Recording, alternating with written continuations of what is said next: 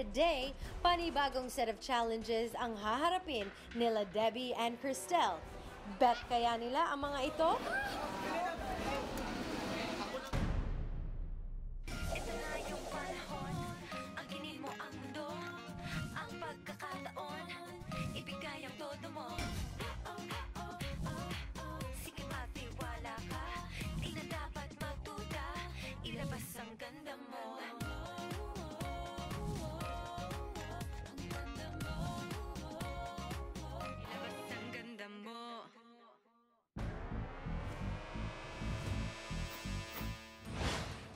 Okay, ladies, nakikita nyo ba ang mga lambat na may tahong? Yan ang gagamitin natin sa ating challenge. At ito ang tatawagin natin, Watch Me Whip My Tahong. Her tahong talaga. Tahong! Talaga literal sa'yo. Sa'yo tahong. mo. Eh, ayoko nga ng tahong. Tahong nyo. favorite ko ang tahong, baked tahong. So, nung nakita ko yung tahong, sabi ko, nako, inisip ko bubuksan yung tahong. eh, di ba bumubukas lang yun pag pinapakuluan? Nung nakita ko yung mga tahong, nagulat ako na ganun pala yung itsura niya. Kasi akala ko kung ano ko siya binibili sa palengke or sa grocery, yun na siya, yung malinis na siya. Dito sa ating challenge, kailangan natin kunin ang mga malalaking lambat at ipagpag ito para makuha natin ang mga tahong at mailipat nyo dito sa malalaking banyera. Mula doon, kukunin natin ang mga metal hook. Hahatakin nyo papunta sa kabilang dako ng market at doon lilinisan nyo ang mga tahong. Ang isang tahong to the other tahong at kikis-kisin nyo yan para matanggal ang lahat ng nakadikit na dumi. Kung sino ang pinakamaraming malinis na tahong sa loob ng 40 minutes, yan ang pwedeng manalo sa ating challenge at may dagdag na sorpresa.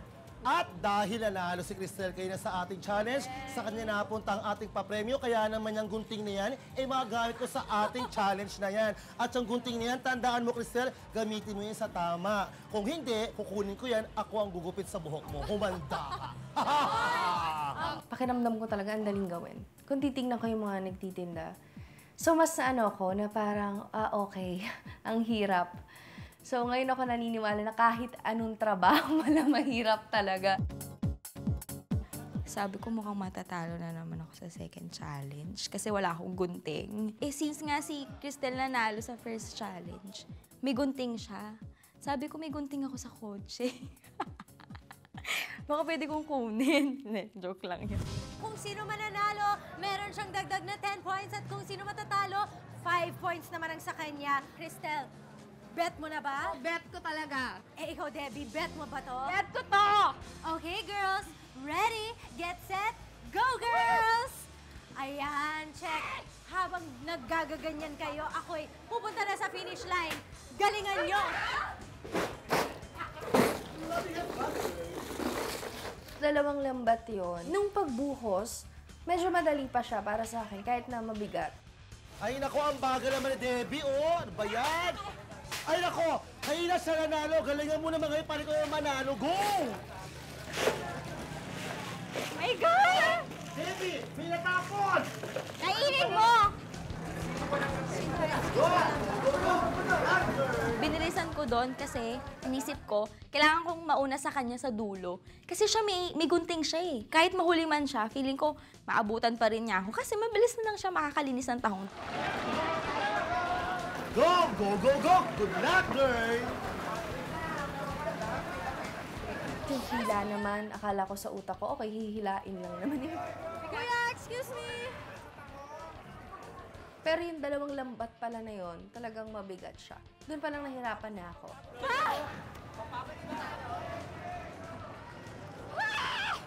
Hindi ganun kadali yung nangyayari na paghila namin. From dun sa start hanggang dun sa dulo ng palengke. Anong gagawin? Kuya, pa doon! Hindi clear yung daan eh. May mga may mga da, may daan na talagang close siya, puro ah, banyera. Wala, walang daan! Ah! Kuya, pa doon! Aray!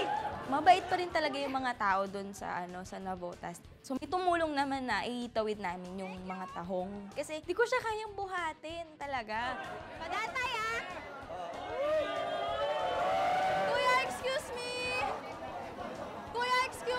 Nauna kasi Debbie sa akin eh. At hindi ko din nakita kung saan siya dumaan. Kasi pwedeng sundan ko siya kasi hindi ko nakikita. Kasi na- pressure ako na mahila ko yung dala ko eh. Excuse me po! Thank you! Kuya! Excuse me! Ay! Ay! Teka, oh! Ate, salamat! Salamat!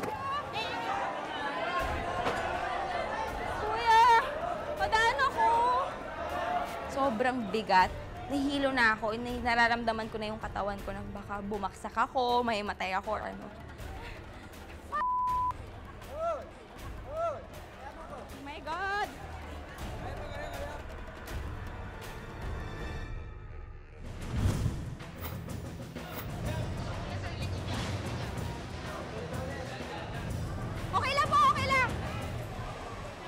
Nauna ako kay Crystal, pero humabol din siya. eh. Hindi rin nagtagal, nandun na rin siya.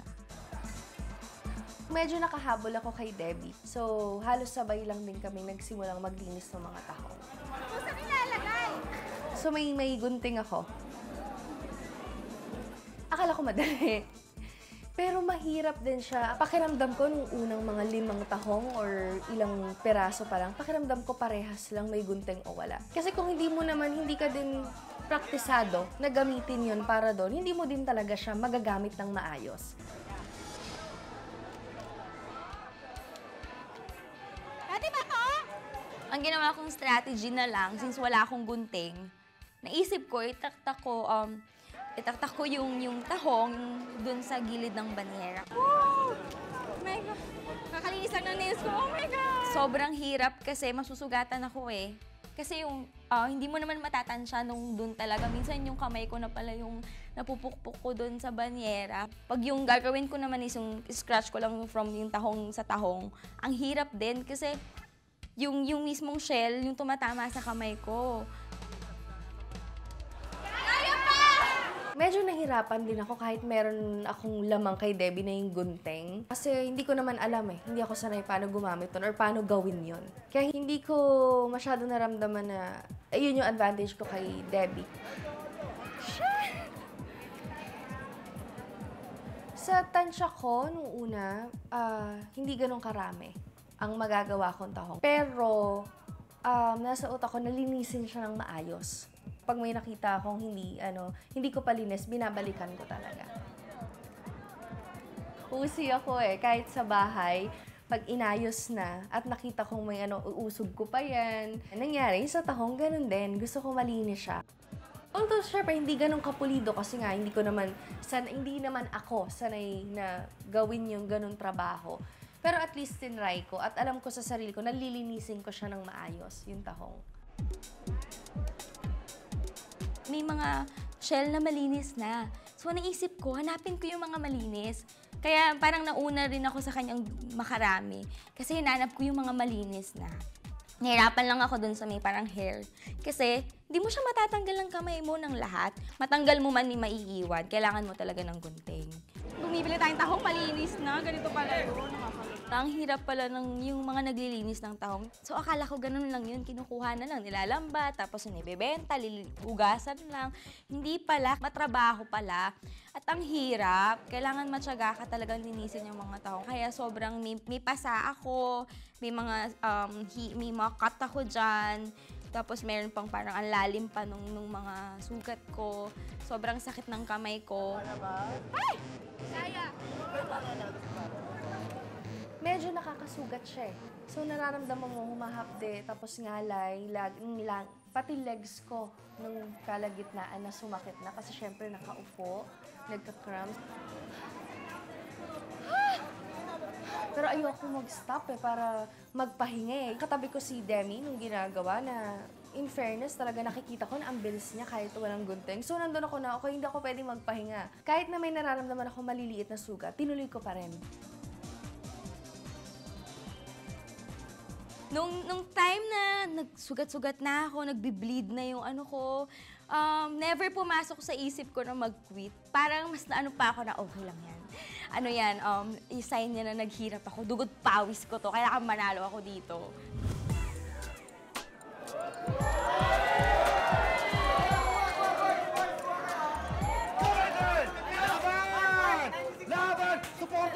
silang dalawa. Come on, guys. Ating time check is 10 minutes. So, kaya pa ba? Kaya niyo sumagot? Hindi niyo na kaya, no? Kaya pa! Okay, 10 minutes pa. So, sige, push!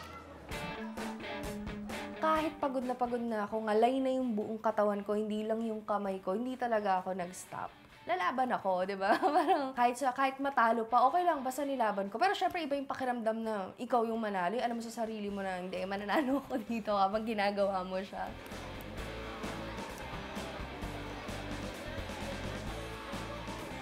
Yung game na yun sineryoso ko kasi gusto kong manalo dun sa second since si Cristel na yung nanalo sa first. So sabi ko, kailangan galingan ko to. Kailangan bilisan ko. Kailangan makita nila na ako yung mananalo kahit may gunting siya.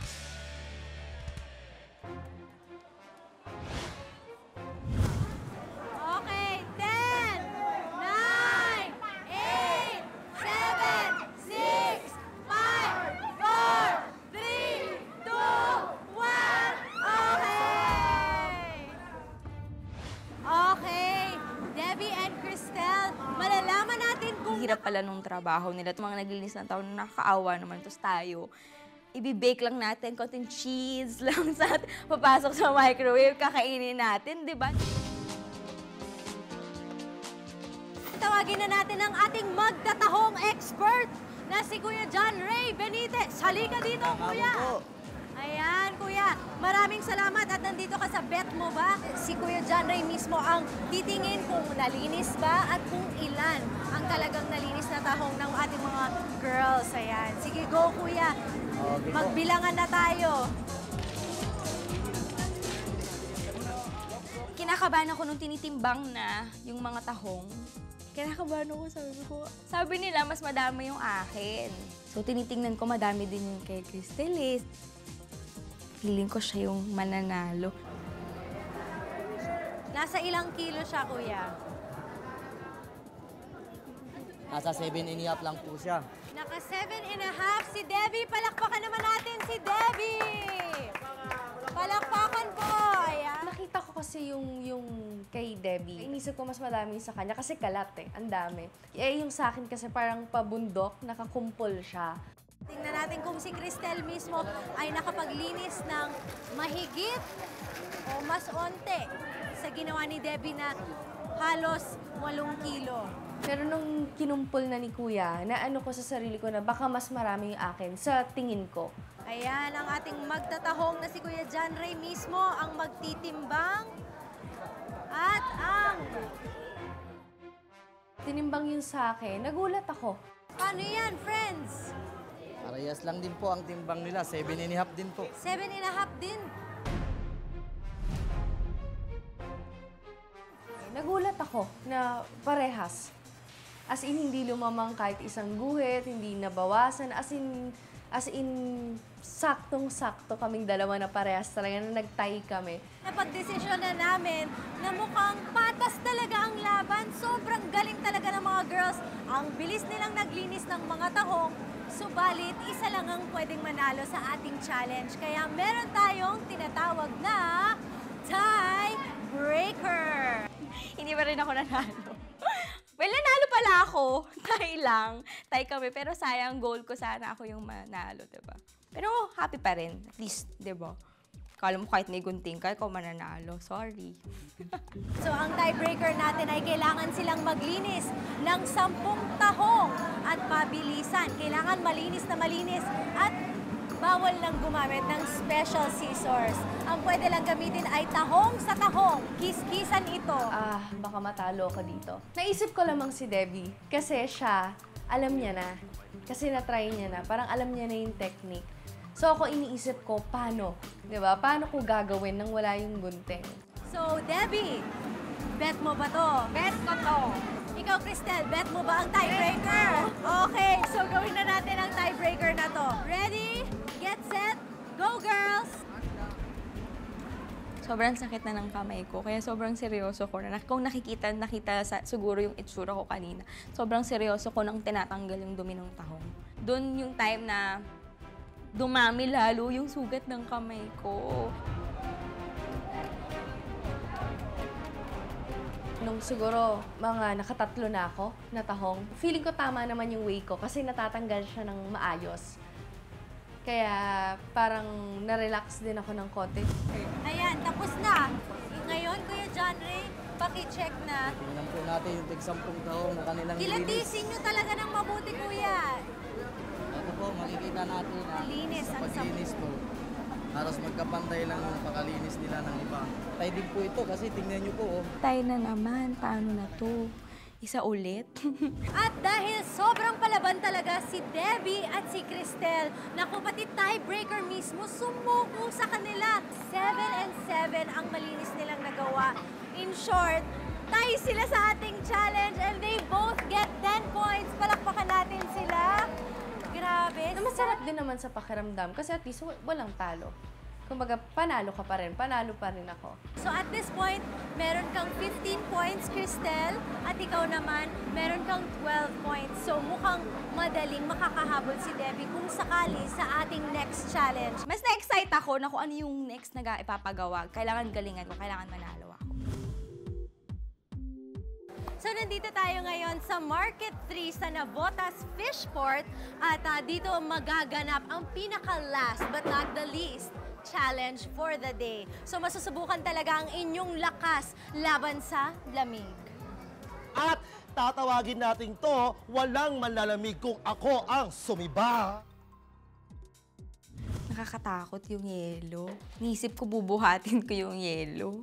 Eh, mas mabigat na naman sa akin yung yelo. So eto na nga, girls, ang ating challenge. Hihilahin nyo ngayon palabas ng ating storage room ang yelo. Gagamit kayo ng ice pick at hahatiin nyo ang yelo.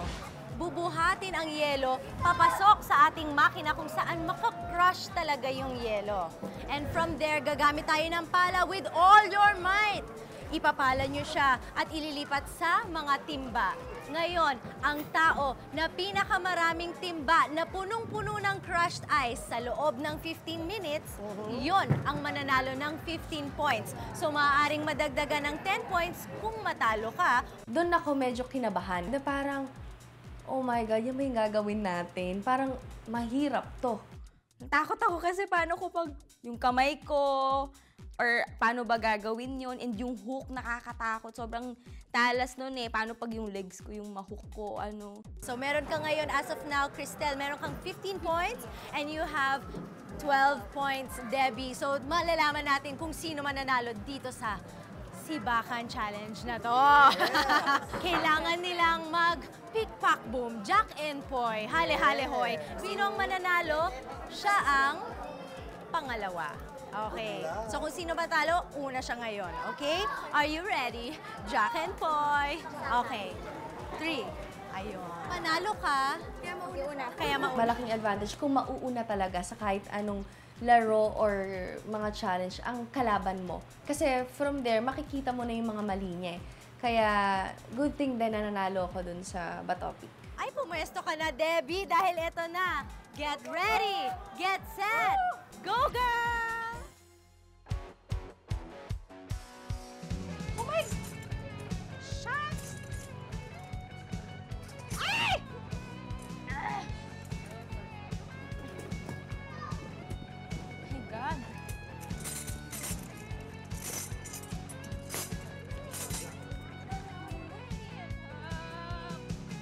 Sobrang hirap niya. Kailangan mo ng full force talaga para ma- madurog yung yelo.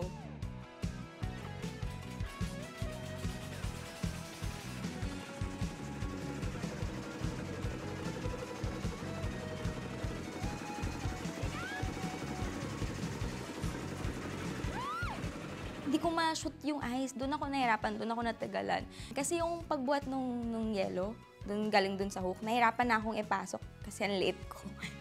Mas mataas siya sa akin. Natakot ako kasi nisip ko final destination ito. Nagtago talaga ako kay kuya. Hindi ko alam kung ano, hindi ko na inisip yung reaction ko, pero alam ko walang poise yun.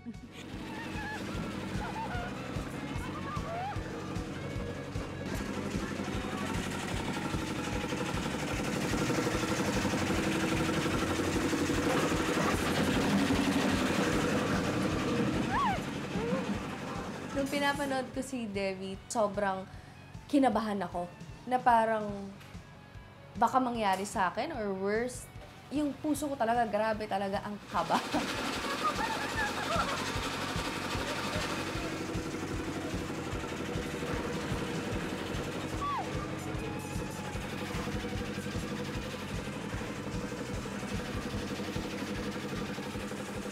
Pinapala ko yung yelo, papunta dun sa timba, nahihilo na ako noon. So, kung pansin nyo, ang bagal ko na.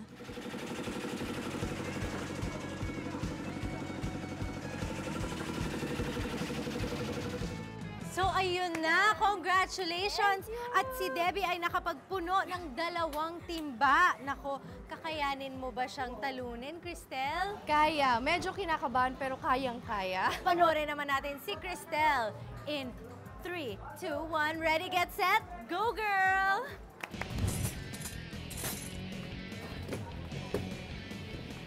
kabang-kaba talaga ako. Lalo na doon nga sa parang hook, yung una. Kasi yun lang ang way para malabas mo siya eh, doon sa storage. Kasi masyado siya mabigat. Sobrang talagang takot ako sa mga matutulis na ganung bagay. Kahit ano, kahit maliit lang. Yun, go! Nanalo! Nakaisip ako ng ibang way na hindi ko na lang gamitin yung hook. Ang gagawin kong technique, um, idudurugin ko na lang ng mas maliit para mabuhat ko din siya. Ang importante, mabilis lang akong makalagay ng ice doon para marami akong ma- makuha. Yung ice, nung dinurog ko siya, kahit maliit siya, ang hirap niyang hawakan kasi ang dulas niya. Ano masasabi mo, Debbie? Mabilis siya sa akin bakla.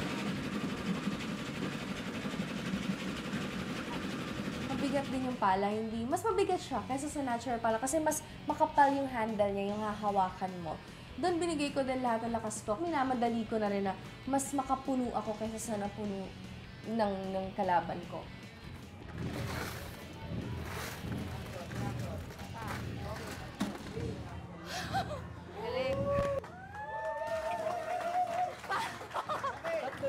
Yung sa ice challenge, yun yung para sa akin lahat na siguro. Pinaka-challenging, pinaka-natakot ako, pinaka-kinabahan ako.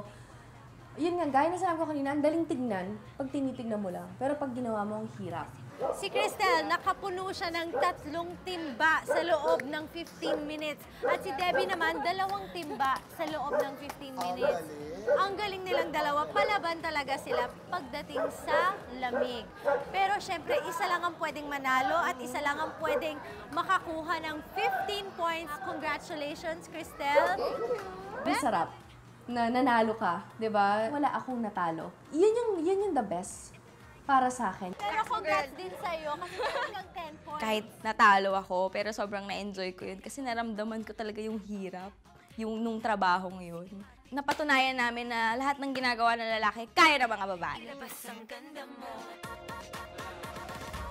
Bet na bet natin si Cristel dahil siya ang nanalo sa ating challenge dito sa Market 3 ng Navotas Fishport. Congrats! Yay! Ito pala yung kaya kong gawin, bakit hindi ko pa ginawa dati?